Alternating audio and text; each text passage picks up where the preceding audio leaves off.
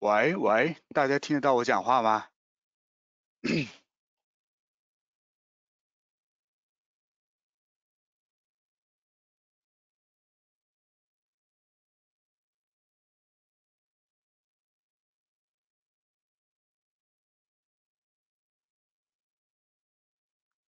大家也可以看到我的 PPT，对不对？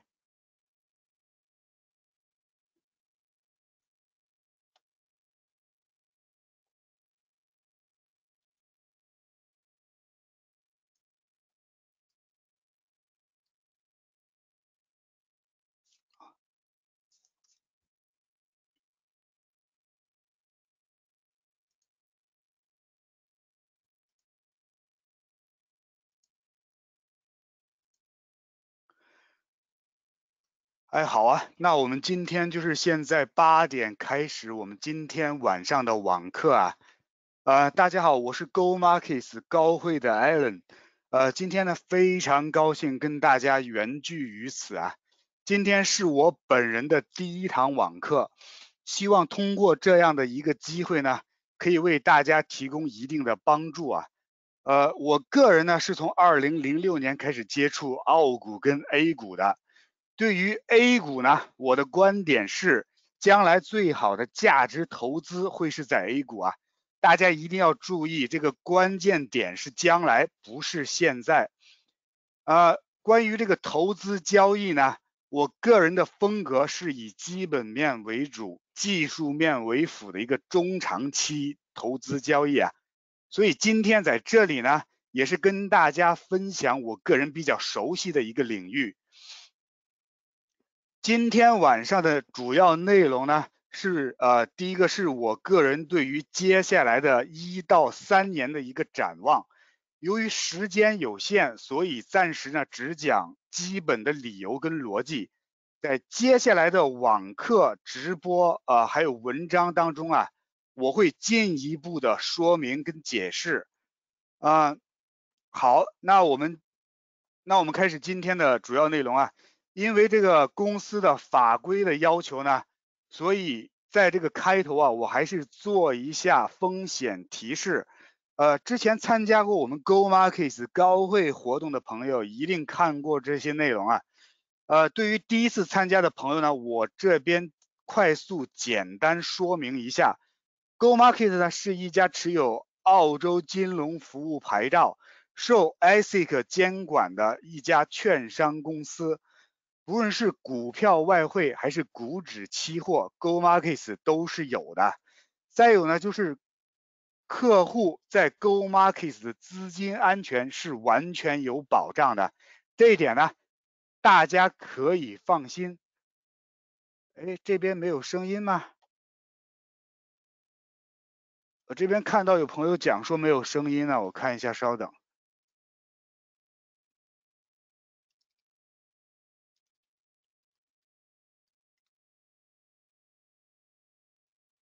喂喂，大家可以听到我讲话吗？因为刚刚我测试过是可以的。哦，是可以的。然后刚刚说这个呃，说没有声音的朋友，可能是电脑的设置是不是没有设置正确啊？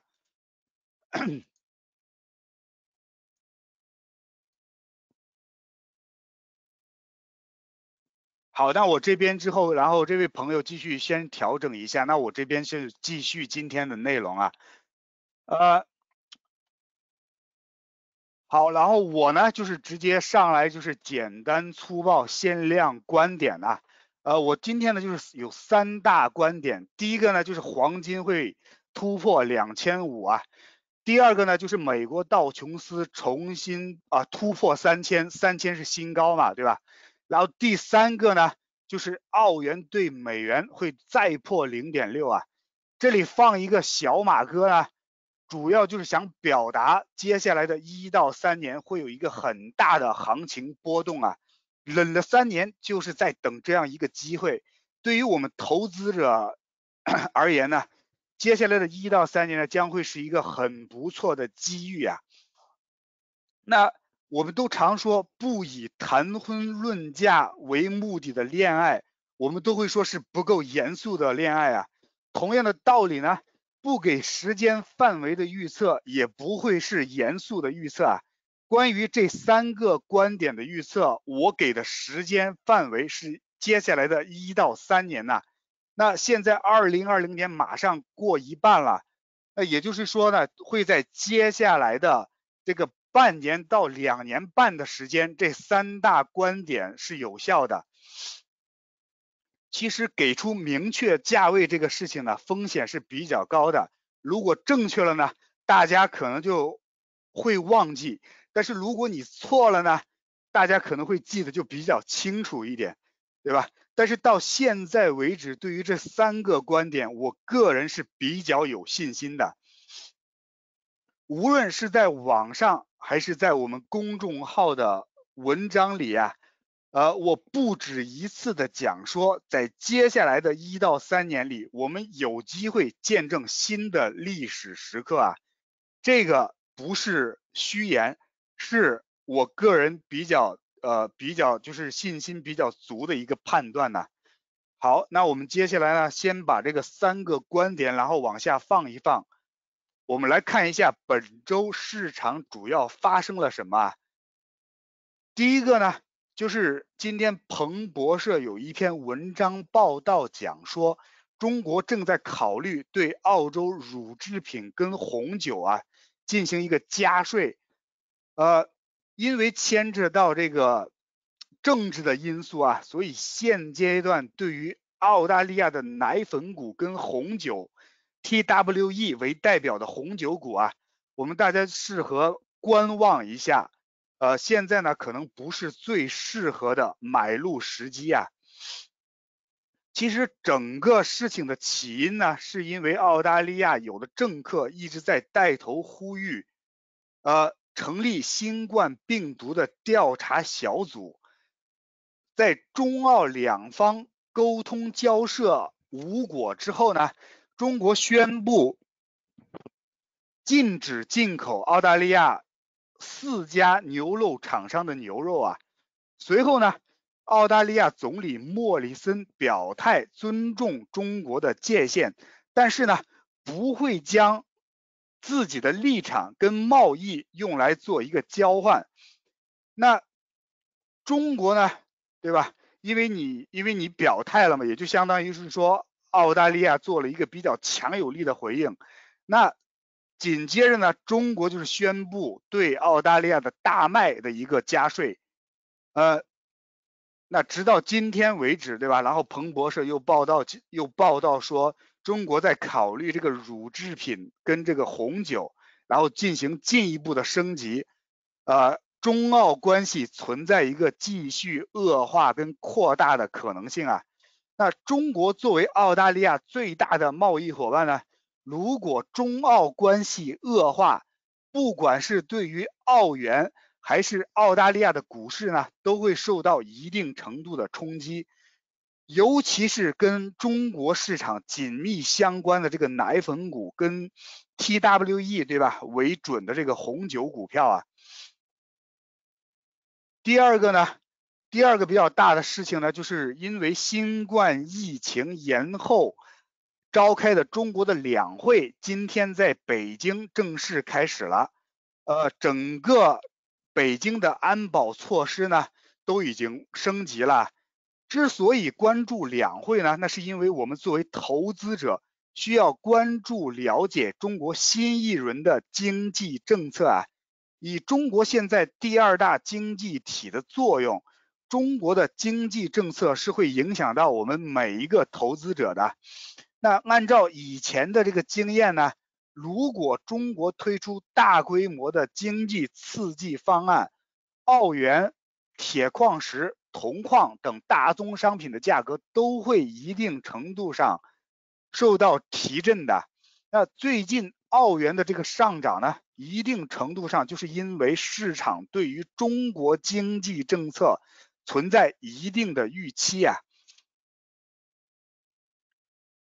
那我们都知道呢，澳大利亚作为世界的主要经济体之一，是吧？呃。澳大利亚的澳大利亚拥有一个呃二十八年经济无衰退的辉煌历史记录啊，其中2008年次贷危机的时候，澳大利亚的经济呢，在受到一定波及之后，可以迅速的恢复。其中很大的原因就是因为当时中国推出的四万亿刺激方案呢。那第三个事情呢，就是美国总统签署的这个禁令啊，禁止全球芯片供应厂商给华为供货。那美国呢，现在对于华为的这样的一个绞杀，基本上可以说是已经做到了赶尽杀绝的程度啊。呃，站在美国人的角度来说，最好的结果呢，就是一举将华为的 5G 优势压住，同时呢，美国自己的公司可以进行一个后来居上的反超，从而占领 5G 的技术高地啊。但是呢，如果绞杀华为失败的话，那就会让世界其他的国家全部看到。美国这样的一位霸主，竟然拿中国的一家公司完全没有办法，不仅丢失面子，对吧？还会让身后的一帮小弟们非常的失望啊。那关于华为，关于美国对于华为的绞杀呢，其实是中美两方的博弈啊。那如果用我们投资者看待 K 线的方式来说，近年的中美关系其实已经进入了一个下跌的通道啊，那这个呢也是开头之初，开头的地方我提出来三大观点，一个很重要的理由就是大国之间的吵吵闹闹虽然一直都有，但是在接下来的几年呢，大国之间的博弈对抗。将会让我们投资者面临一个波动性比较大的市场行情啊。好，那我们接下来呢，继续往下看，就是时事之后呢，我们我们进一步谈这个股票市场，就是全球疫情高峰已过，股票市场是否会迎来转机啊？那这个问题呢，其实更准确的一点来说，就是现在是不是买入股票的好时机啊？啊，这个板块呢主要有三个内容。第一个呢，就是至今为至今为止，美股走势几乎是一个 V 型的反转啊。那澳大利亚的股市呢，现在来说就是在一个不上不下的半山腰的位置。因为我个人现在是在等待美股的第二次探底呀，所以我现在的建议就是，现在的澳股适合少量的买入，美股的话呢，就暂时先不要追涨。那在三月份的时候，就是股市跌的最凶的时候啊，我是入场买入美股的，是在标普大概两千四百点左右的时候。进场的两千八百点出场的，那这往下看呢？这个呢，就是我个人在三月十二号跟三月十三号两天，我个人发的一个朋友圈呢。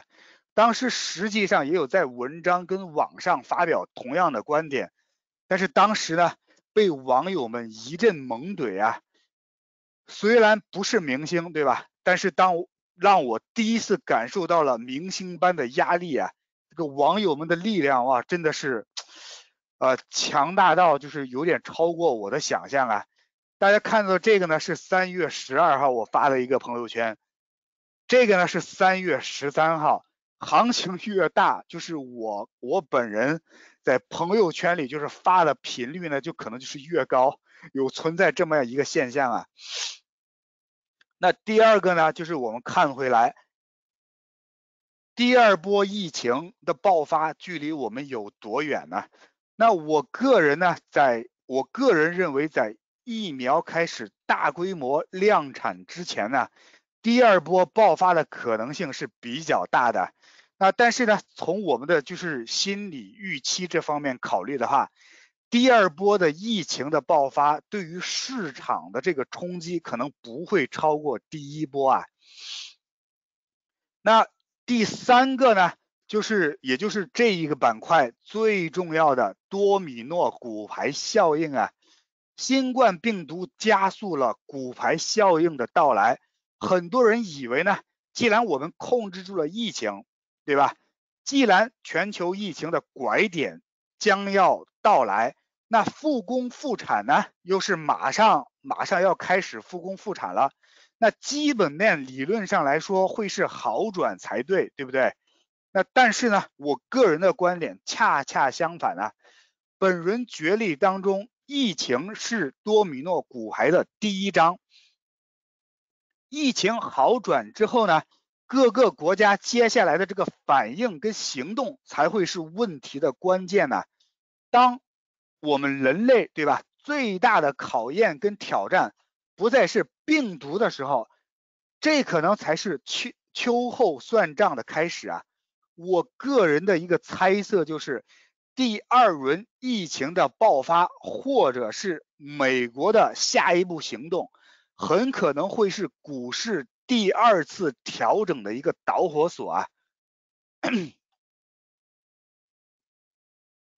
好，那接下来呢，我们就是来说这个澳洲的银行股啊。哦，这两个呢是就是我之我刚刚说到的十二号跟十三号的朋友圈，那。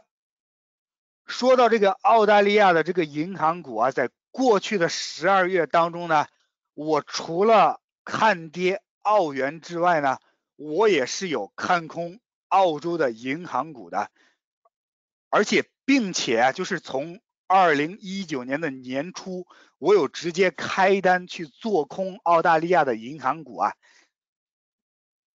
之所以看空澳大利银澳大利亚。的银行股的理由跟逻辑，其实有在呃我之前就是写到的一个股评报告当中有进行一个阐述，呃进行一个阐述。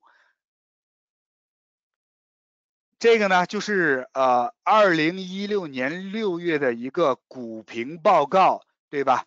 当时股评报告的标题呢就是澳大利亚银行的一点远虑跟两点近忧啊。我们现在看到的这个呢，就是股评报告当中的一个节选呢。嗯，那再有就是呢，啊，就还有就是我我啊看回这个 PPT，还有就是呢，我有在澳洲两百七千一百点的时候，然后开设一个空仓去做空澳大利亚的这个 AXAS。ASX 两百的指数啊，其实从去年的十二月份开始呢，那个时候 AS ASX 两百冲上六千八百点的时候啊，我就有在公司的公众号里反复强调，一定要注意这个风控的危险呢，一定要注意风险控制，一定要注意风险。当 AX 两百冲破七千的时候啊。我还是有在强调风险的，但是呢，在过去的一年当中，我个人的状态，我个人的一个自我的状态其实是这个样子的，也是很孤独。当当我认为股市已经过高，对吧？但是呢，股市还在上涨，我个人的空仓已经开设的情况下，这样的情况一天可以。一个月我也可以坚持，但是三个月之后呢，你可能就会陷入一种自我怀疑啊，就是很孤独。所以说呢，这张图呢，就是我想表达，对吧？过去的十二个月我自己的一个状态呀。那这里呢，为什么说要穿插这个内容呢？其实我想表达的意思主要就是有两个，第一个呢。就是过去的十二个月，我个人对于市场大环境的一个判断还是可以的，对吧？因为不管是澳元还是澳洲的银行股，还是澳洲的大盘，判断整体来说大方向还是可以的。那第二个呢，就是更重要的，就是要提醒一下大家，澳大利亚的房价在接下来的一到三年呢，将会面临一个比较大的。向下的一个压力，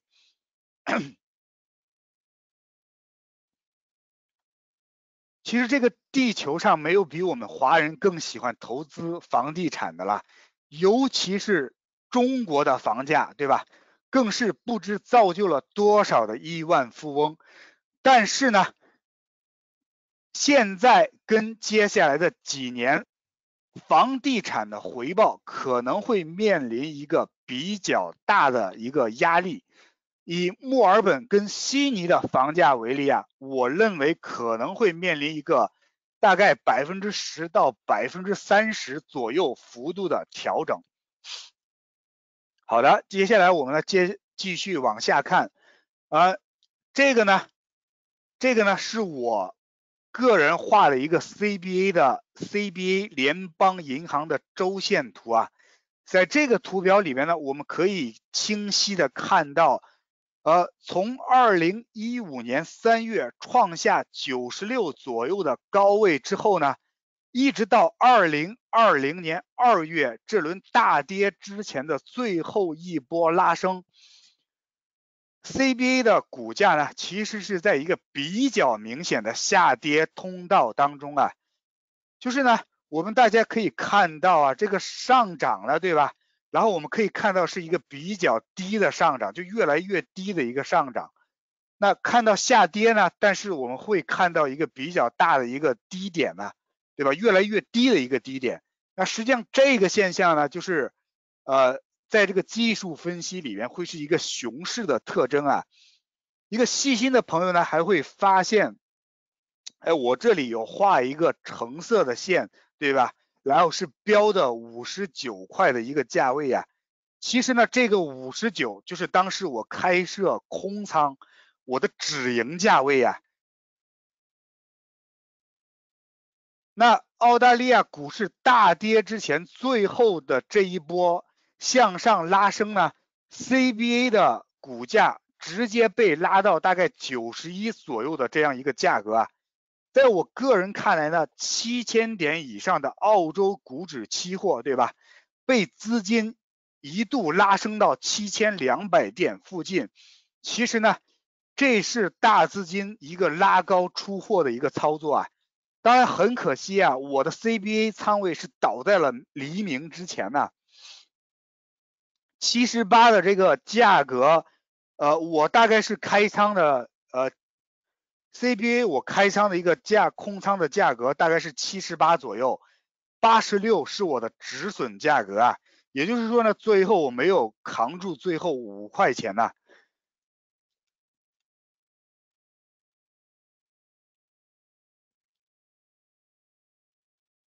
好，那看完这个 CBA 啊，那我们这里然后然后看一下这个 Westpac，呃，跟 CBA 相比呢？Westpac 的走势跟我画出的这个下跌通道啊，更加的完美契合，对吧？其实呢都不存在这个最后一波拉升的这个直直接都不存在最后一波的拉升出货。呃，关于 WBC 呢，我们要知道它是市值，它是澳大利亚市值第二大的银行啊。尤其需要强调的一点是，WBC 的房屋贷款业务是超过 CBA 的。那资本市场呢是先知先觉的，所以可以说呢，澳大利亚银行股价的走势可以作为我们澳大利亚房价的一个重要的先行指标啊。那因为 W B C 这边就是它的房屋贷款业务是最大的。我们可以说，WBC 的一个呃股价走势呢，可以称之为房价指标当中的指标啊。那关于 WBC 呢，就是我们从图表上可以看到，呃，除去从二在其股价 WBC 的股价在二零一五年见顶之后啊，呃。自己身处一个比较明显的一个下跌通道之外呢，我这里还有画出一条趋势线呢。那这条趋势线呢，是从二零零八年次贷危机之后，澳大利亚股市跟房市，哦，这条趋势线的出发点是二零零八年次贷危机之后，澳大利亚股市跟房市开始转熊为牛的起点呢？也就是说，大概是这里，大概是一个呃十四块到十五块钱的一个起点呢，对吧？大家可以看到，在第一季度的这轮大跌之前，WBC 呢一直是在这条十一十一年的趋势线上边的。对吧？一直是在这条十一年的趋势线上边的，但是呢，经此一役，十一年的这样的一个趋势可以说是被打破啊。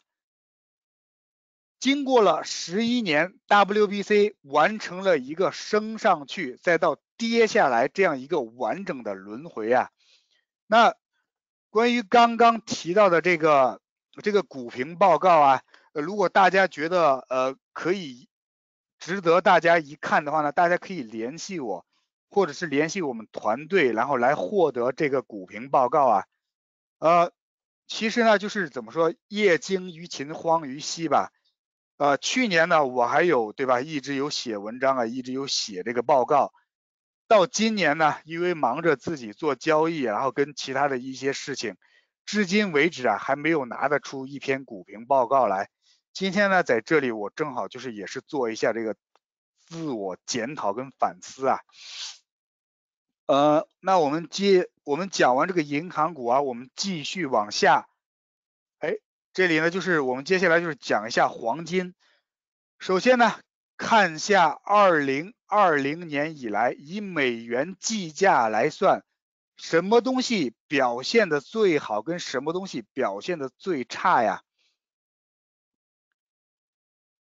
呃，从这个这个数据里我们可以看到啊，黄金呢，从对吧，今年的年初截止到二零二零年的五月七号，黄金的表现呢是最为亮丽的，而在货币当中呢，呃，这个巴西的里尔是表现最差的。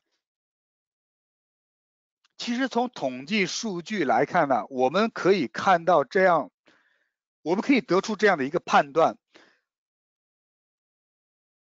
其实不管是南美洲的巴西还是阿根廷，对吧？还是欧洲的土耳其啊，在外汇市场上，其实早就已经血雨腥风了。美元，对吧？美元的冰封是有多么强劲，对吧？现在呢，我们感受还不是那么深刻，但是巴西、阿根廷跟土耳其的人民。的感受呢，一定是非常的深刻的。大家呢，可以在自己的电脑上，对吧，或者手机上，呃，用拉出一个用欧元或者澳元计价的黄金的走势图来看一下。除了用美元计价的黄金还没有打破二零一一年曾经创下的一千九百块左右的历史高位之外呢？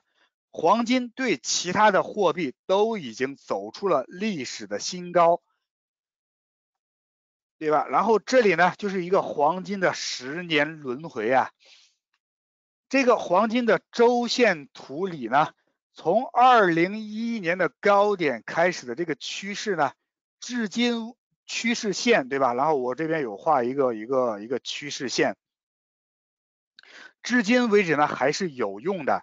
因为在现在的这个市场环境里边呢，我个人的看法是，现在的市场环境还是一个通货紧缩的环境啊，所以说呢，黄金中长期是完全没有问题的，但是在短期呢，无论是基本面还是技术面呢，可能还会面临一定的压力啊，那。接下来呢，就是呃，我们来看，我们来看，就是我看涨黄金的理由跟逻辑啊。那为什么看好黄金呢？理由跟逻辑其实就是呃，简单的来说就是有三条，对吧？第一个呢，就是避险的功能，这个呢，其实跟我们人类几千年以来形成的一个惯性，呃，是因为惯性导致的这个问题啊。呃，之前呢，我的同事 Coco 对吧？然后在提到美元的时候，有讲到非常重要的一个词，就是信用，对吧？那黄金的避险功能，或者是说黄金的避险属性呢，其实就是这个信用作用的一个体现呢。也就是说，美元，对吧？会有一个美元的信用，那黄金呢？作为一个几千年以来，对吧？大家的一个货币，那也是这种信用的一个体现呢。哎，这边又有一个朋友讲说没有声音，其实应该是有声音的，因为我看有的朋友一直在啊，对，嘉航，对嘉航，还有另外的几个朋友一直有说有声音，大家调整一下。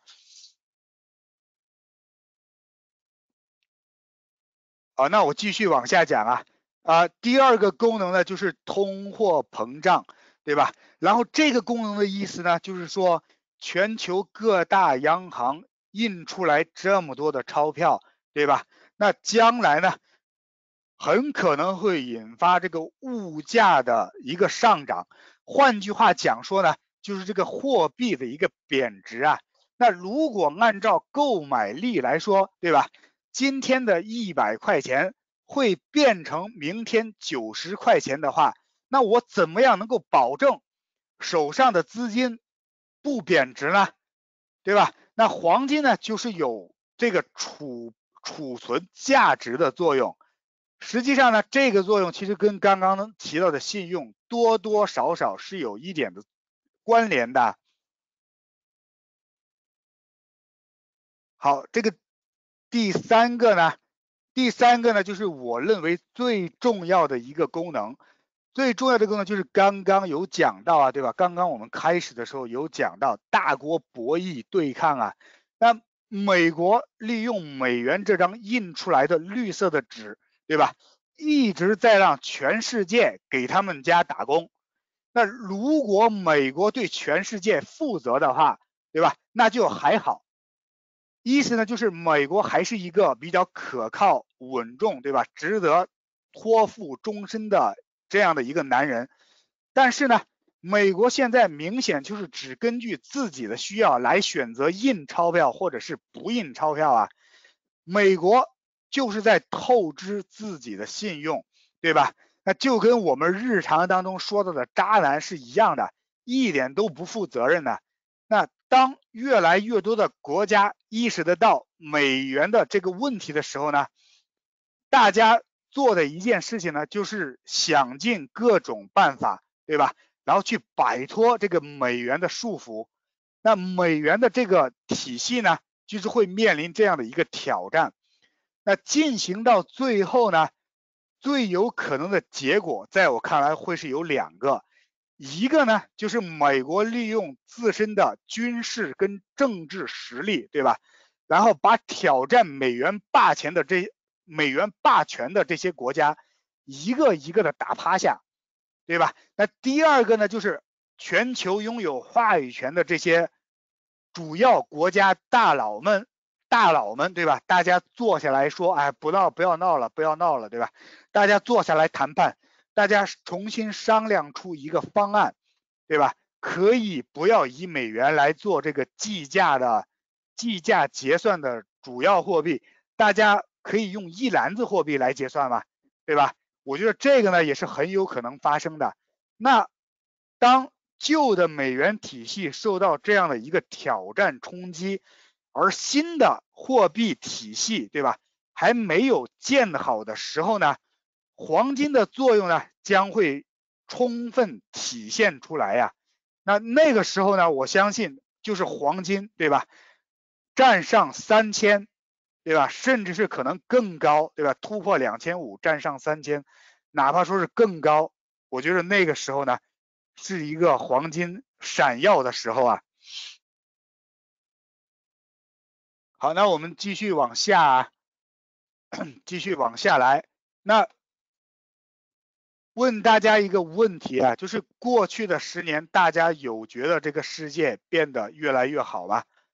对吧？大家可以想一下，近些年是不是越来越感受到越来越多的国家跟地区存在这样的一个争端与冲突，对吧？我们就先不要说中东的那些个国家，对吧？打来打去，那我们去看欧洲，对吧？黄马甲运动也好，还有就是德国，对吧？德国也好，就是各种政党，各种闹，对吧？各种极端的党派散发出来，各种比较极端的言论，对吧？今天不还钱，明天要赶谁谁下台，就是这个样子。这还是欧洲，对吧？那还有就是智利，去年的时候。发生了一个一百二十万人的大游行，那这个大游行的原因是什么呢？大游行的原因就是因为地铁涨价几毛钱呢，直接触发了这个大游行。那再有就是呢，对吧？我们去看，我们去看伊拉克，实际上伊拉克，对吧？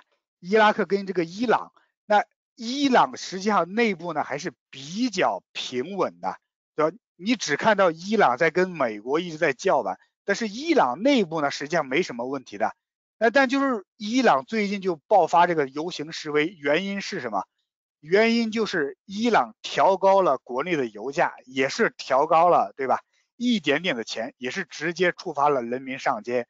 那全球一共五个大洲，除了北美洲跟这个大洋洲之外，可以说。都不是特别的太平啊。那我们来看，就是各种游行示威，对吧？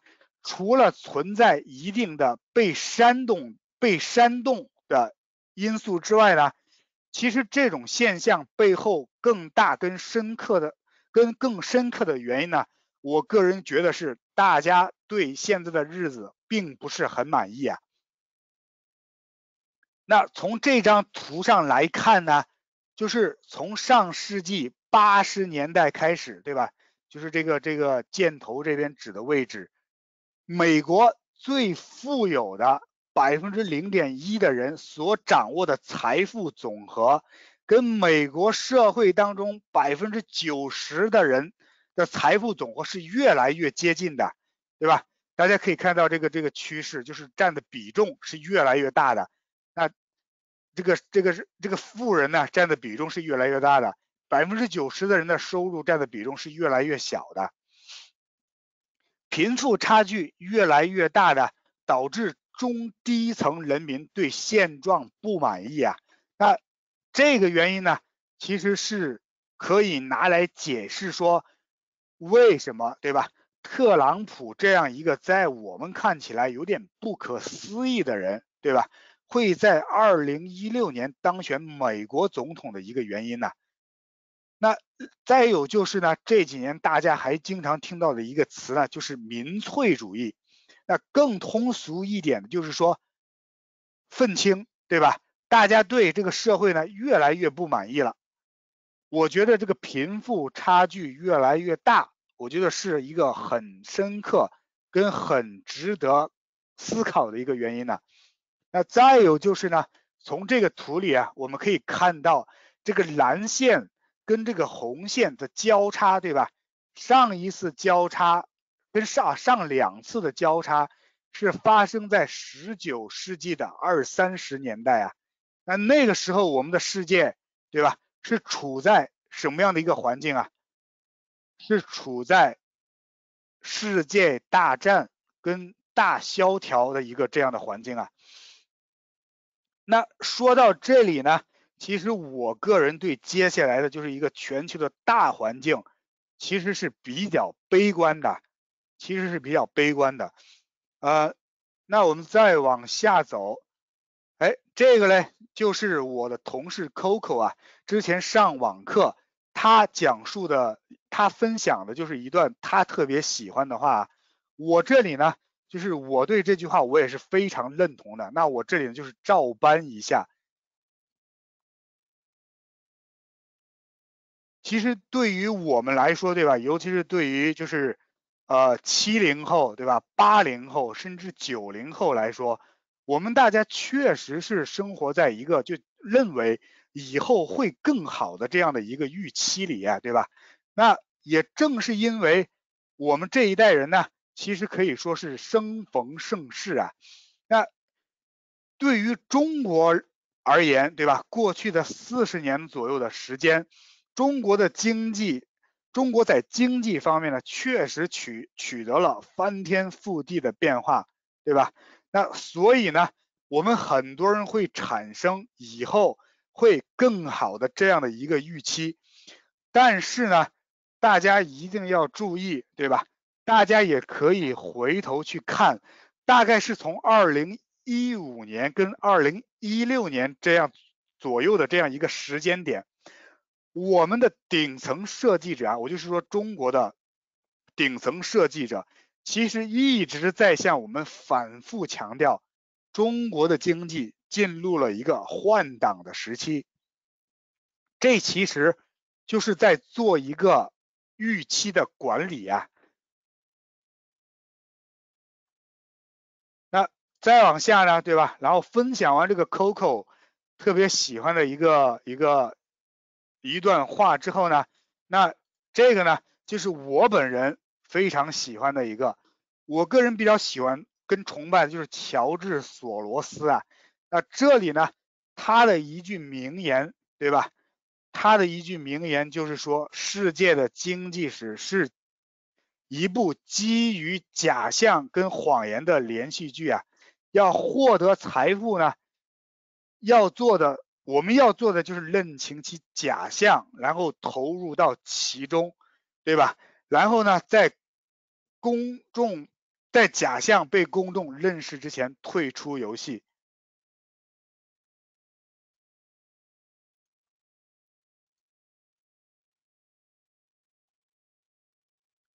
哦，我这里啊，我刚刚我再次强调啊。我这里说的这个换挡时期啊，很简单，没有别的意思，就是我们开车换挡的那个挡啊，没有别的任何的意思，大家千万不要做演做别的预想啊，对吧？对，这里呢就还是乔治索罗斯，对吧？然后一句话，那在这个结尾的地方啊，我这里呢就是我再一次重申。我个人的，我再次将我个人的一个三个观点再次重申一次。刚刚我看到就是有朋友在这个直在这个直播里边，对吧？然后有询问黄金长线是多久？我刚刚有给出这个时间线呢，就是一年到三年，也就是说二零二零、二零二一、二零二二这一到三年的时间，我们会看到黄金会站上三千，对吧？那因为可能因为在开头的时候我有说我自己的这个观点嘛，对吧？可能就是后来加入的朋友就没有看到，那我这里就是再再一次将我的个人的三个观点，然后再次重申一下。以上呢就是差不多，对吧？我们今天网课的全部内容了。那大家如果认可我艾伦的风格跟内容，对吧？那是因为 Go Markets 培养的好，跟麦克领导有方啊。那如果大家觉得我个人，对吧，有需要调整跟注意的地方呢，那就是我本人，对吧，应该继续努力学习，争取可以做到天天向上。以上这些呢，我也再次强调一下，是我个人的一家之言，对吧？如果大家觉得有失误的地方呢？欢迎大家的给意见，对吧？我这边呢，随时改正自己。呃，哦，这里刚刚提到的这个股评报告，对吧？大家可以通过扫码的形式，然后来获得，就是我刚刚讲到的这个，呃，去年我关于这个银行股的一个一个当时的一个逻辑跟一个看法，对吧？大家可以拿来看看。啊，再往下呢，就是我个人的一个联系方式了。这里呢，就是有我个人的公司的个人的邮箱，我的分机号码跟我微信的一个联系方式啊。大家如果有任何的问题或者疑问，可以添加我，对吧？然后跟我进行一个进行一个讨论也好，或者沟通也好。呃，再接下来呢，对吧？然后就是我们就是 Go Markets 中文团队。我们自己的这样的一个优势，对吧？其实我们 Go Markets 这边呢，就是对于我们的客户跟我们自己公司的一个定位啊，是非常清晰的。那就是我们 Go Markets，我们就是要打造澳大利亚华人的第一团队啊。那除去平时每天的广播之外呢，我们还有短信，我们还有百家讲坛，对吧？我们还有不定期的个股的股评报告。那有时候呢，客户难免会将我们跟这个行业里不同的券商，对吧，拿出来做一个横向的比较。但是呢，在比较当中，我希望，对吧，或者是跟我想说的就是，除去可以提供 Go Markets 可以提供各种交易产品之外呢，对于我们的客户。我们一直在进行一个非常高价值的输出啊！我希望大家就是现有的客户可以感受得到，对吧？那将来的客户呢，希望可以有这样一个呃感受我们 Go Markets 提供服务的这样一个机会啊。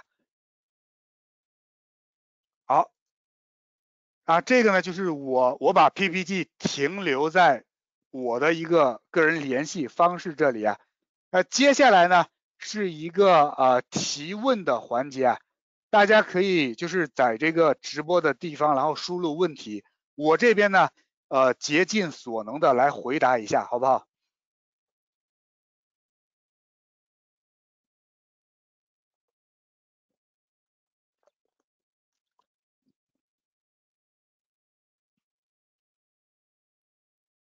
啊。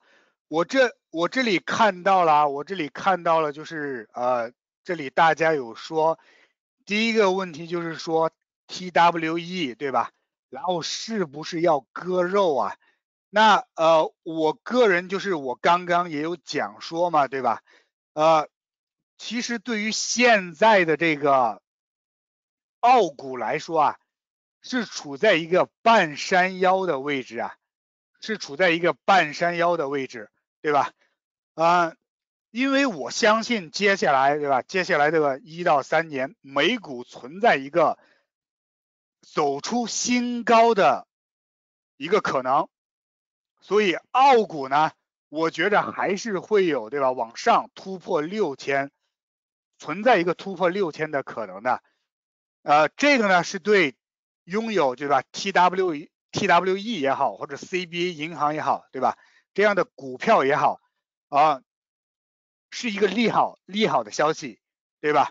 那不好的消息呢？对 TWE 的拥有者一个不好的消息呢，就是中国跟澳洲存在一个这样对抗的一个一个一个政治风险，对吧？那我觉得现在呢，就是对 TWE 的有 TWE 的朋友来说，我的建议是现在持仓。现在暂时呢就不需要存在一个割肉离场的问题。那对于在考虑对吧，在盯着 TWE 的朋友来说呢，我的建议是先等一下，先等一下，先不要买，对吧？这个是我的一个建议。那刚刚呢有还有第二个问题，我看到的就说大家问这个 CBA 怎么看呢，对吧？实际上对于 CBA 的看法呢，跟 TWE 的看法，我觉得是差不多的。因为 CBA 对吧？我刚刚看到我找来我 CBA 的这个这个这个图线，它呢 CBA 虽然是在一个下跌的通道里边，对吧？那但是股息呢，它肯定是会，我觉得接下来股息肯定是会减的，对吧？那但是你说是不是至于说我如果买在七十块，我如果买在八十块，是不是要割肉离场呢？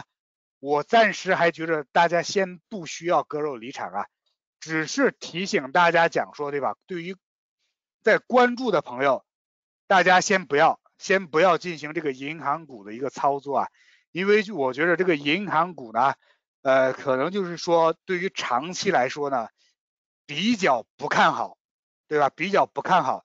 那但是呢，因为我刚刚也有讲到，接下来对吧？接下来一到三年，或者是接下来一个一到五年的时间，对吧？一到五年的时间，大家面临的是一个低收益的时候，那银行股的分红也好，或者股息也好，对吧？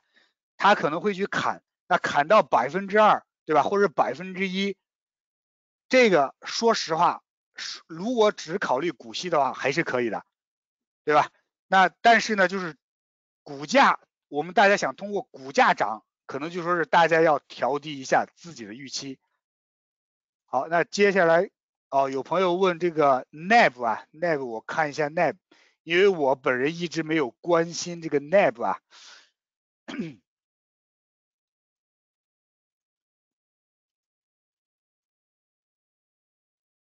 实际上，NAB 呢，就是因为我们大家知道，NAB 它的主营业务，对吧？它的主营业务是澳大利亚的一个中小企业，也就是中小生意的一个贷款业务，对吧？因为这波疫情，大家也看到了，中小生意，对吧？中小生意呢是受冲击最大的一个生意，对吧？那所以呢，我觉得说。NAB 的前景呢，可能面临一个比较大的一个挑战，可能面临一个比较大的一个挑战呢，那对吧？至于说割肉离场，不存在一个割肉离场的问题，我觉着拥有的对吧，有 NAB 跟有银行股的一个朋友还可以继续持有，但是说只是说对于观望对吧，持仓观望的一个朋友呢，大家就是稍微考虑一下。那我刚刚就是有说到对吧？有从 CBA 说到。TWE 我也有说，对吧？然后还有这个，还有这个，呃，刚刚有说 Westpac 也说，对吧？大家不需要割肉离场，大家只是就是说，呃，暂时不需要考虑银行股，对吧？或者暂时不需要配置太多的银行股。我个人对吧？刚刚我有讲到，因为我看有朋友还有来问这个就是推荐股票的。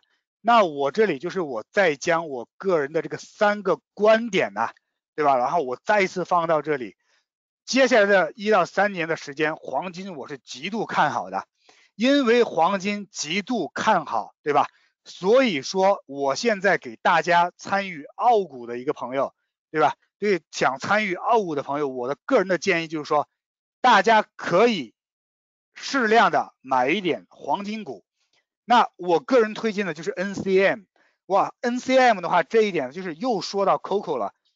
今天晚上我是这是第三次提到我的同事 Coco 啊，他一直在跟客户推荐这个 NCM。那 NCM 呢，我觉得我也是个人比较看好的一个，因为它是最大的嘛，对吧？你说接下来像，因为我刚刚看到有朋友在讲说 SBM，对吧？然后我觉得这些都是可以，都是可以配一点的。那我刚刚也有讲到说，对吧？现在的这个市场环境是一个通缩的环境，是一个通货紧缩的环境。那我个人呢，还在等美股，对吧？第二只脚踩下来这样一个回调的一个调整。所以说呢，我给大家的的建议，现阶段我给大家的建议，大家可以用清仓，对吧？然后配置一点黄金的股票。那至于说银行股，是吧？或者是 TWE，还有就是 AR Milk，对吧？这个样子的股票呢，大家可以呢先等一下，暂时不需要割肉离场。但是呢，大家先不要考虑抄底的问题啊，好不好？哦，刚刚我这边有看到有朋友就是打了一个问题，就说有可以不可以谈论一下 A 股啊？那 A 股呢，我刚刚就是在开头的时候，我这边也有提到。呃，哦，在 PPT 上没有啊。呃，开头的时候呢，实际上我个人有提到这个 A 股啊。我觉着，我觉着接下来在接下来的这个三年之后吧，三年之后吧，然后最好的价值投资，我觉得是会在 A 股，我觉得是会在 A 股。但是现阶段的 A 股最大的问题是什么呢？就是人民币汇率的问题。我个人觉着人民币除了贬值，没有其他更好的办法。那如果人民币对吧，你存在一个贬值的预期的话，对吧？我觉着对外资来说，他可能就会选择观望。或者他不会大举杀戮，进行一个 A 股购买的这样的一个动作，对吧？那虽然，对吧？我们知道，就央行它一直在管理这个预期，说人民币对吧，不会存在大幅预期啊，或者是什么大幅的贬值也好，或者怎么也好。但是我个人觉得呢，人民币可能会贬值，会存在一个向下的一个比较大的一个压力。那这样子呢，对于 A 股的朋友来说，对吧？我建议说可以买一点蓝筹，但是呢，大家就要长线，而不是说对吧？像叔叔阿姨呀，呃，进行的一个就是快进快出这样。我觉得对于我们平常人很容易踩空的。那我个人现在我有 A 股的，我有 A 股呢，我现在有两只股票，一个呢就是双汇发展，就是做火腿肠的那个，这个呢我的价格是大概二十八块钱左右，我的持仓的价格。另外一个呢就是深圳机场，我的持仓价格大概是八块钱，大家可以考虑蓝筹。好，刚刚呢我看到就是有。朋友来问这个原油啊，那原油的话呢，我实际上就是从去年年底对吧，然后到今年年初，我一直开始，我有在文章里讲说，就是大家先不要抄底，对吧？那结果呢，原油实际上这波行情是比较惨的。那一个呢，就是因为，对吧？你像这个航空公司把飞机停掉，对吧？然后这些运输的呃直线下降，对吧？这些卡车也好。这些用到原油的地飞机，对吧？这些油老虎全部就是都在停住，那停住对原油这个需求，对吧？那首先是大幅下降的，那再就是作为原油的存储是不容易的。你像海上的油轮，对吧？还有就是我们建立的这个油库，它当存满了的时候，那原油你上沙特也好，你像俄罗斯也好，你像美国的这些油商还在大量的生产。大量的生产之后呢，你这个油就是存在一个存储的问题，对吧？那这个时候呢，就是这一波，再加上美股这个一下拉下来，存在了造成了市场当中一个流动性的危机，对吧？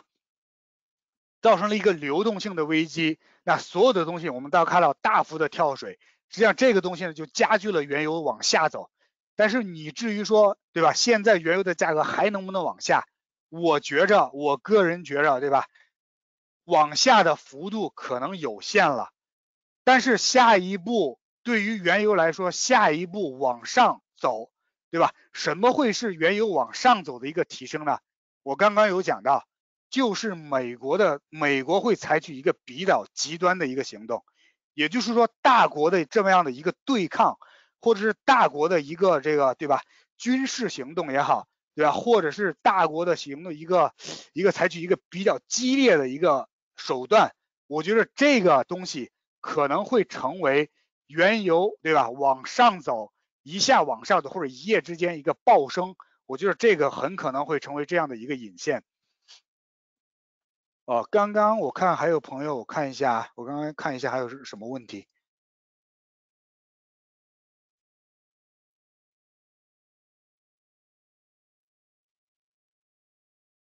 哦，刚刚有朋友说这个呃医疗股啊，对吧？问医疗股有没有好不好？我觉得医疗医疗股很好的。那接下来我刚刚就讲到，对吧？大家也可以从 PPT 看到我的就是三个三个这个观点嘛，对吧？然后一个就是呢黄金，第二个呢就是呃实际上就是美哦，我们刚刚说到这里对吧？我那说一下美股。那实际上这一波疫情呢，大家又让大家更清楚的认识到了科技股的赚钱能力啊，对吧？那所以说呢，黄金股、科技股还有这个就是医疗股，我觉得这三个板块会是非常好的一个选择。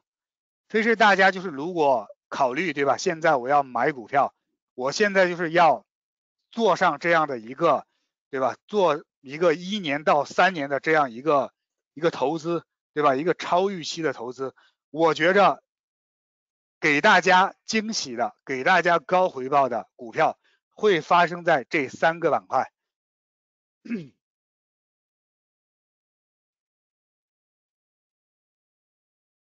哦，这里啊还有一个就是一个有一个就是有一个朋友，然后有一个观众，然后问到 BHP 这样的矿业股会怎样啊？呃，我刚刚也有说到啊，对吧？现在的当前的一个市场环境呢，我个人觉着，啊，我个人觉着呢，会是一个通货紧缩的环境。对吧？还有就是呢，呃，您大家就是大家可以看到，我个人对于澳元呢是存在一个就是想法呢，就是澳元存在一个贬值的压力的。那如果说澳元存在一个贬值的压力的话呢，我觉得外资对于澳股来说，可能就会不会选择一个大举的买入。那所以就是说呢，我个人觉着矿业股可能会存在一个比较往下一点的一个下行的压力，矿业股会面临一个压力。因为现在大家实际上对于矿业股来说，对吧？大家可能会觉着，哎，因为你是矿业股嘛，对吧？大家觉着中国这边会有大规模的一个基建，对吧？或者是大家对于呃存在一个中国还是会拉动这个全球经济，对吧？一下就是实现一个微型的反转。我个人的看法是这一次不会了，因为中国现在的负债率我觉得是挺高的。那再有就是呢，我觉得中国现在它不会选择，呃，之前就是四万亿一个刺激方案，对吧？来选择牺牲自己拯救大家的一个方案，我觉得现在是不会的。那再有就是呢，为什么说，呃，矿业股，对吧？这大家可以看到之前矿业股涨得不错，然后现在矿业股涨得也好。实际上大家可以看到，实际上欧洲、欧洲跟中国。他们一直在做的一件事情，就是说，我就是要存货，我就是要存铁矿石，我就是要存铜，对吧？我就是要存铝、存锡这种基础的矿产。实际上，那为什么我我可以下这样的一个判断呢？因为大家可以看到，为什么大家说经济不好，但是大家去翻回看澳大利亚的这样的一个贸易、一个出口的数据，大家可以看到，哇，一直在往上走，一直在创新高。所以呢，大家也看到 FMG 对吧？BHP 呃 Rio Tinto，大家可以看到他们的财报，你可以看到大家的量对吧？哪怕澳元一直在贬值，但是他们的报表不错，原因是什么？他们的收益对吧？理论上来说就是靠量撑上去了嘛。啊，但是接下来你说中国可以买多少，欧洲可以买多少？我觉得可能差不多了，我觉得可能差不多了。那大宗商品呢？我觉得除去黄金之外，对吧？呃，我觉得大宗商品面临一个比较大的一个压力。大家可以看一下 FMG，FMG 呢，现在我看已经破了之前的一个新高了，已经冲上十三块多了。那在我看来呢，我觉得 FMG 的这一波行情可能啊存在一个就是跟大跌之前 CBA 有点像的那个行情。就是大资金在往上拉货，在往上拉爆空头啊，这是我个人的一个意见了。哎，今天呢就是时间差不多了，呃，那我们今天的网课先到这里啊，呃，就是那最后呢就是再强调一下，以上今天晚上的分析呢是我个人的一些观点看法，啊，谢谢大家的收听啊，谢谢大家的收听，啊。感谢大家的时间，我们接下来在以后接下来的节目我们再见，谢谢大家，嗯，拜拜。